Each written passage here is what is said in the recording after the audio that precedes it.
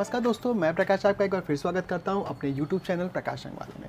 दोस्तों आज हम अपने ब्लॉग में बात करने चले हैं एक्रेलिक वॉल पुट्टी की कि क्या एक्रेलिक वॉल पुट्टी क्या होती है क्यों लगाई जाती है इसको लगाने से क्या फ़ायदे होते हैं और आ, कितनी फिनिशिंग आती है कितने पैक में आती है कितने लीटर आती है कितनी किस लगाने का तरीका क्या है। दोस्तों आप लोगों ने को आइडिया ही होगा कि मतलब पुट्टी दो तरीके की आती है एक तो पहला सीमेंट बेस पुट्टी आती है दूसरा एक्रेलिक पुट्टी।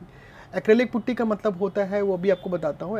पहले आप जान लीजिए कि सीमेंट पुट्टी क्या है सीमेंट पुट्टी एक तरीके के से वाइट सीमेंट पॉलीमर और मिनरल को मिला के पुट्टी बनाई जाती है, जो पाउडर फॉर्म में होती है, जिसको जिसको हम लोग बिरला पुट्टी, जेके पुट्टी और एशियन की पुट्टी और नैरोलेक की सभी कंपनियों की पाउडर पुट्टी आती है, जिसको सीमेंट बेस्ड पुट्टी कहते हैं। और ये वाटर प्रूफ और नॉन वाटर प्रूफ दोनों आती है, जिसको इंटीरियर और एक्सटीरियर दोनों लगाया जाता है, ठीक है? लेकिन इसको हमको सान के पानी में और फिर उसके बाद हम कन्ने या पत्ती से लगाते हैं। अब बात करते हैं एक्रेलिक पुट्टी की। एक्रेलिक पुट्टी एक ऐसा एक्रेलिक प्रोडक्ट होता है जिसमें कि वाइटिंग मिट्टी पिगमेंट और बाइंडर को मिला के ऐसी फिनिश पुट्टी, मक्खन पुट्टी बनाई जाती है कि इसको लगाने से दीवार की जो फिनिश होती है, वो बहुत स्मूथ आ जाती है। जैसे आप लोगों ने देखा होगा कि होटल्स में या किसी ऐसे शॉपिंग मॉल में या किसी ऐसे शोरूम में जहाँ की वॉल इतनी परफेक्ट फिनिश आती है, उसमें रॉयल या इम्प्रेशन या जो भी महँगे पेंट होते हैं, वो इतने अच्छे खिल के आते हैं तो उसमें ज़ाहिर सी बात है कि वो एक्रेलिक पुट्टी का ही कमाल होता है। जब एक्रेलिक पुट्टी को सही तरीके से लगाया जाता है किसी वॉल पे और परफेक्ट फिनिश के साथ तो ये बहुत ही अच्छी फिनिश देती है और एकदम देखने में एकदम शीशे की तरह चमकने लग जाती है। दोस्तों एक्रेलिक पुट्टी के बारे में हम लोग बात करेंगे कि एक्रेलिक पुट्टी क्या होती है और इसको क्यों लगाया जाता है। दोस्तों, होता यह है कि जब भी हम लोग अपने घर को बनाते हैं तो पुट्टी का एक्चुअल में काम होता है। अपनी वॉल जो सरफेस जो बनी हुई है हमारी वॉल उसको हम लोग सही तरीके से फिनिश कर सकें, उसको स्मूथ कर सकें। पुट्टी का एक्चुअल में काम यही है। सीमेंट पुट्टी बहुत से लोग लगाते हैं, मैक्सिमम लोग पुट्टी लगा, सीमेंट पुट्टी लगाते हैं, लेकिन एक्रेलिक पुट्टी बहुत कम लोग लगाते हैं। अगर आप फिनिशिंग चाहते हैं, बहुत अच्छी, बहुत स्मूथ तो एक्रेलिक पुट्टी को आपको इस्तेमाल करना पड़ेगा। ये अंदर के लिए होती है, इसको अंदर केवल लगाया जा सकता है, साथ में इसको वुड पे भी लगाया सकता है, जैसे डोर हो गया विंडो हो गया और लकड़ी के फर्नीचर जिसमें हमको पेंट करना है, उस पर भी लगाई जा सकती है। पॉलीमर बेस होता है, इसके अंदर एक्रेलिक फिनिश होती है, इसमें एक्रेलिक जैसे प्लास्टिक फिनिश कह सकते हैं, इसको एक्रेलिक डिस्टेम्पर आता है एक्रेलिक पेंट आता है ना, जो प्लास्टिक जिसको कहते हैं एक्रेलिक वो इसके साथ मिले होते हैं। पहले आपको याद होगा कि बहुत पहले जब दीवारों को सरफेस को जब बहुत अच्छी फिनिश करने के लिए कुछ पेंटर कुछ कारीगर ऐसे होते थे जो कि लामी पुट्टी बनाते थे, जो वाइटिंग मिट्टी में इनामिल पेंट को डाल के और कुछ, और पिगमेंट को डाल के अच्छे से मिक्स करके वो पुट्टी को बनाते थे। उसी का सब्सिट्यूट सभी पेंट कंपनियाँ लेकर आई हैं, ये एशियन नैरोलैक ड्यूलैक सभी कंपनियों में एक्रेलिक पुट्टी के नाम से बहुत आसानी से मिल जाता है। और सबकी क्वालिटी लगभग लगभग सेम होती है, किसी की थोड़ी सी कवरिंग ज़्यादा, किसी की थोड़ी सी कवरिंग होता है। दोस्तों, ये एकदम गीली, सनी सनाई पुट्टी होती है रेडी टू यूज़ पुट्टी होती है। इसके साथ हल्का फुल्का पानी डाल के इसको एक बार फेंट के इसको पतले से कन्ने से लगाई जाती है या ब्लेड से लगाई जाती है। बहुत पतली लेयर लगाई जा सकती है। देखने में ये एकदम मक्खन की तरह होती है और एकदम मक्खन की तरह ही हल्का इसका येलो स्टोन है। ये पूरी तरीके से वाइट पुट्टी नहीं होती है, हल्का सा ऑफ़ वाइट टोन में रहती है। इसको डायरेक्ट यूज़ किया जाता है दीवारों पे। इसमें साथ में और कुछ नहीं, या वाइटिंग मिट्टी पीओपी या कुछ भी ऐसी चीज़ में नहीं मिलाई जाती है। दोस्तों, होता क्या है कि जब भी हम लोग अपनी घर में कोई पीओपी की जो फॉल सीलिंग बनवाते हैं या पीओपी की वॉल को हम लोग फिनिश कराते हैं तो उसमें बहुत अच्छी फिनिश नहीं आती है।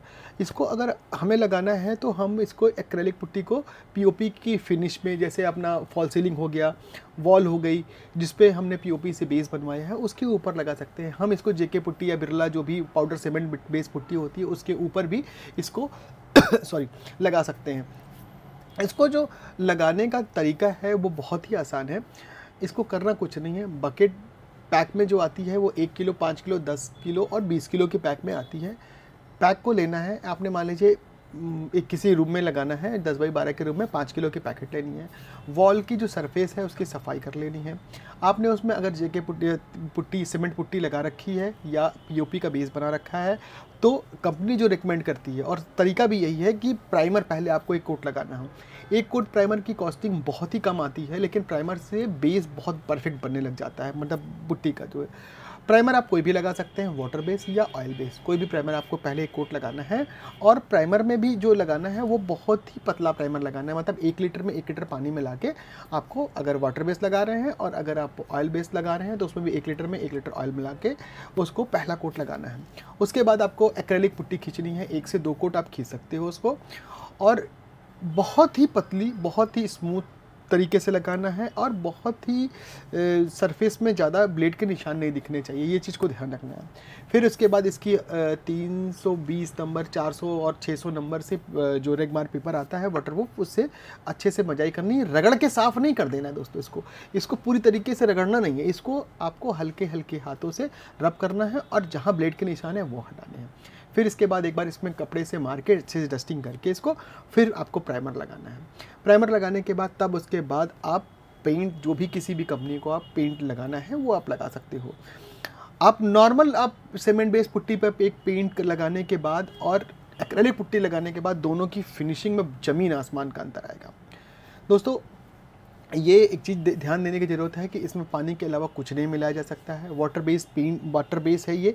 इसमें तेल या तारपीन का तेल या थीनर वगैरह बिल्कुल नहीं मिलाया जाता है। जहाँ तक कोशिश करी जाती है कि इसमें कुछ भी नहीं मिला जाता।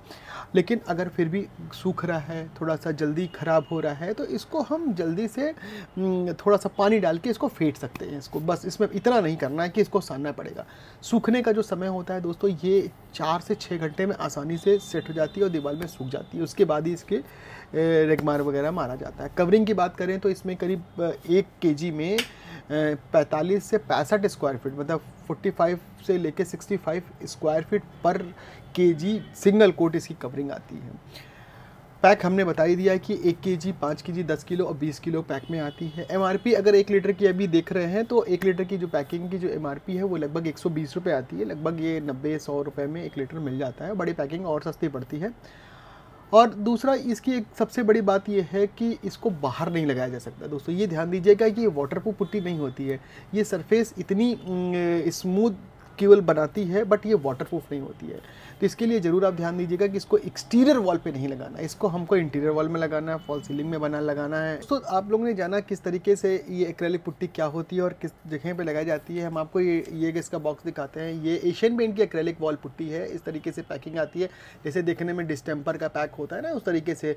और जितनी डिस्टेम्पर की जो कवरिंग आती है मतलब वेट में आता है, उसी पैकिंग में आता है। देखने में आपको लगेगा कि इसमें डिस्टेम्पर ही रखा गया है बट ये डिस्टेम्पर नहीं है। कई जगह देखने में आया है कि एक्रेलिक पुट्टी से लोगों ने डिज़ाइन भी बना दिया, वो क्रेटेक्स को क्रिएट कर दिया और ये सब भी है बट ये बहुत ज़्यादा सक्सेस होता नहीं है, क्योंकि क्रेटेक्स जो है वो एपेक्स का एशियन पेंट का एक बाहर एक्सटीरियर में लगाने वाला प्रोडक्ट होता है, जो कि बाकेट में ही आता है। अब आजकल तो बोरी में भी आने लगा है बट बहुत से लोग क्रेटेक्स में भी डिज़ाइन क्रिएट कर देते हैं बट वो सही नहीं माना जा सकता है। तो दोस्तों अगर आप अपने वॉल पे बहुत अच्छी एकदम मार्बल फिनिश के साथ पेंट चाहते हैं तो आपको अपने वॉल पे एक्रेलिक पुट्टी ज़रूर ट्राई करना चाहिए। जब आप महँगे पेंट लगा रहे हैं, जब आप एक्सटीरियर में, नहीं सॉरी इंटीरियर में जब महँगे पेंट लगा रहे हैं, आप फिनिश रॉयल की लगा रहे हैं एच क्वालिटी का पेंट लगा रहे हैं टेफलॉन कोटेड लगा रहे हैं तो ज़ाहिर सी बात है आपको अपने वॉल पे एक बढ़िया बेस की ज़रूरत होनी चाहिए। जिस तरीके से आपने देखा होगा कि आप एक कोई सूट बनवाने जाते हैं टेलर के पास में और सूट का जो कपड़ा होता है, हज़ार बारह सौ, पंद्रह सौ रुपये मीटर का कपड़ा होता है, उसके बाद अगर जो दर्जी, जो उसका टेलर जो है, अगर सही तरीके से सिलने की कोशिश करता है तो जब तक उसका अस्तर सही नहीं होगा मतलब जब उसके नीचे जो सारी चीज़ें होंगी वो सही नहीं होगी, तब तक उसकी फिनिशिंग बहुत परफेक्ट नहीं आएगी। उसी तरीके से अगर आप एक्रेलिक वॉल फिनिश की जो पुट्टी लगाएँगे ना, जब आप में वॉल में तो उसकी फिनिश बहुत ही ज़बरदस्त आएगी ये मेरे रिकमेंड है और इसको यूज़ करिए, क्योंकि लोग बहुत जानते हैं प्रिंटर थोड़ा हिचकते हैं लगाने के तरीके में लेकिन आप लोग उसको जब बोलेंगे और कस्टमर को कस्टमर होके जब आप कॉन्ट्रेक्टर को बोलेंगे कि इसमें एक्रेलिक फिनिश पुट्टी चाहिए हमको तो वो लगा के देगा। और अगर कुछ और जानकारी चाहिए एक्रेलिक पुट्टी के बारे में तो प्लीज़ कोई कमेंट इसमें हो, करिएगा, बताइएगा, मैं इसका जवाब देने की कोशिश करूँगा। तो दोस्तों, आज अपने ब्लॉग में इतना ही लगते हैं। नेक्स्ट ब्लॉग में फिर हम आपको एक नए प्रोडक्ट के बारे में बात करेंगे, नई चीज़ें के बारे में बात करेंगे, नई कंपनी के बारे में हम आपको बताएँगे। आज अपने ब्लॉग में इतना रखते हैं। प्लीज़ मेरी वीडियो पसंद आ रही है तो पूरी देखिए। प्लस वीडियो पसंद आ रही है तो लोगों को बताइए कि मैंने एक ऐसा चैनल बनाया है जो कि पेंट से रिलेटेड और पेंट कंपनियों के बारे में मैं बात करता हूँ अपने चैनल में। और प्लीज़ मेरे वीडियो को लाइक कीजिए शेयर कीजिए। और सब्सक्राइब करिए मेरे चैनल को। आज अपने ब्लॉग में इतना रखते हैं। थैंक यू वेरी मच जय हिंद।